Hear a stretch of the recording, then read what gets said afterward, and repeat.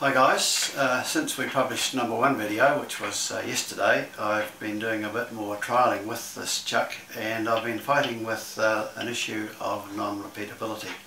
Uh, my original thoughts were that um, one or more of the jaws may be um, higher at the back than in the front and uh, that was causing um, the run out when I measured the um, position of the bar six inches out.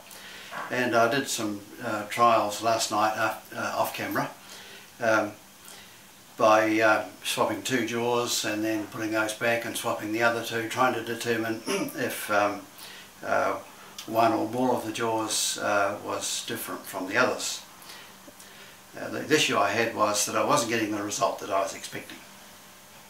The results were not terribly repeatable. So thinking about it last night, um, I had a what I call a brainwave I suppose. Why not check the jaws two at a time? Uh, that way um, I, I, would be able to um, uh, use one, one jaw as a reference and um, uh, and swap the one opposite with the other with the other three and that way it would give me a, um, a comparison of number one with number two, three and four and then number two with three and four and number three with number four etc. Um, so I did that and I'll show you the result which is not what I was hoping and probably not what you would expect. So let's let's get this um, roughly uh, roughly centered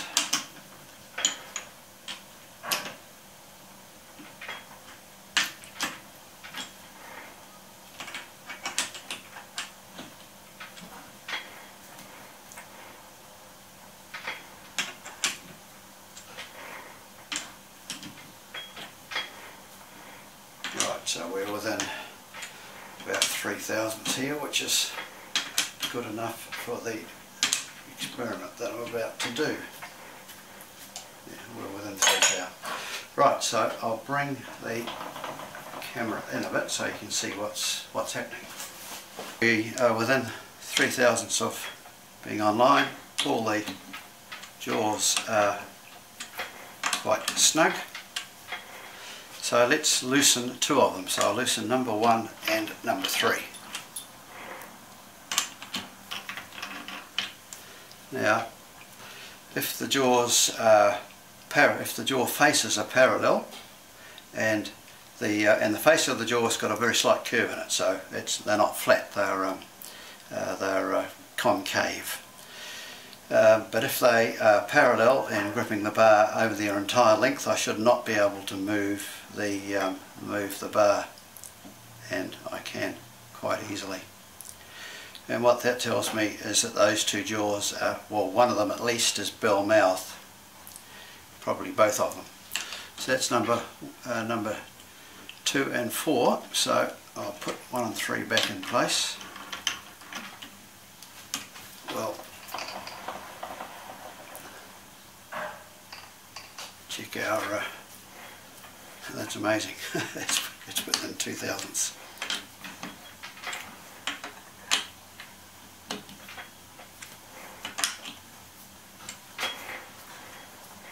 Within three thousandths now.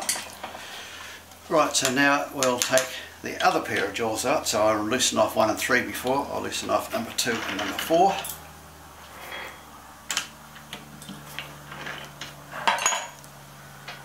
And same issue. So what that's telling me is that all of the jaws are,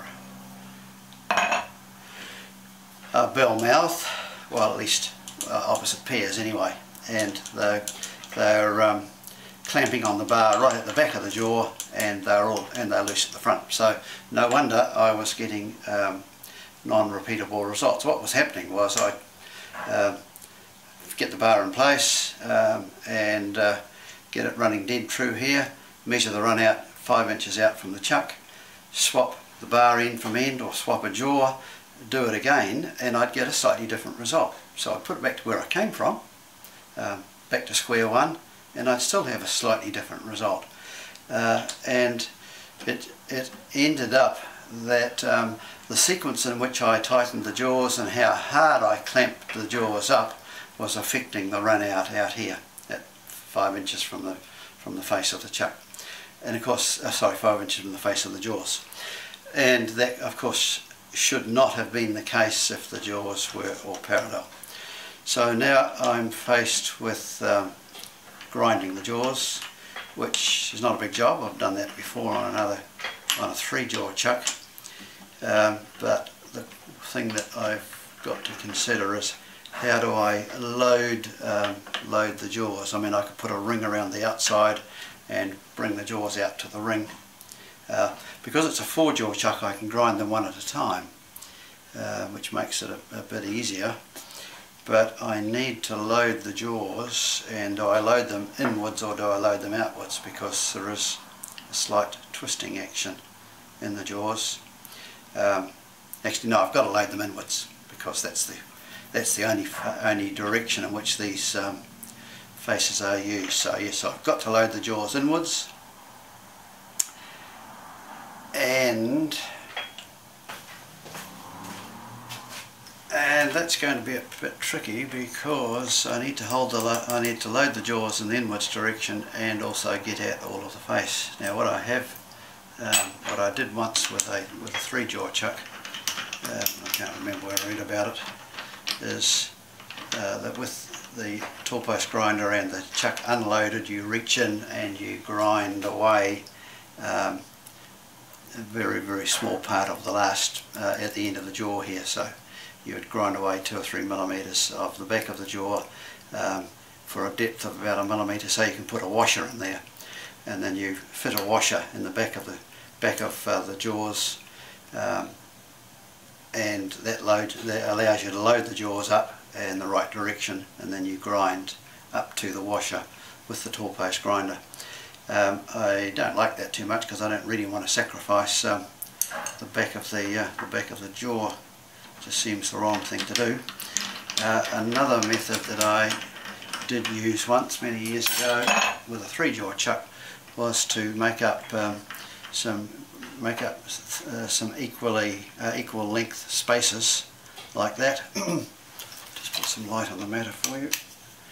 Um, so a spacer in that position there, just a short spacer.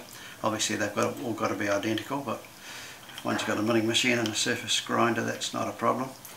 Um, and that spacer sits in there between all four of the jaws in this particular case, and that allows you to load the jaws in the inwards direction and then you can grind them. Um, alternatively, I could arrange the spacer such, such that one jaw is slightly is further in than the other two and grind one jaw at a time.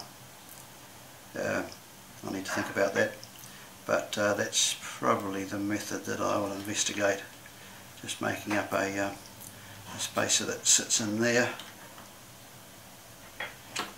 uh, between two opposing jaws and then reach in and uh, grind them one at a time or three at a time if they were uh, all equal. They want, they're not going to be equal. So one at a time is probably the way to go.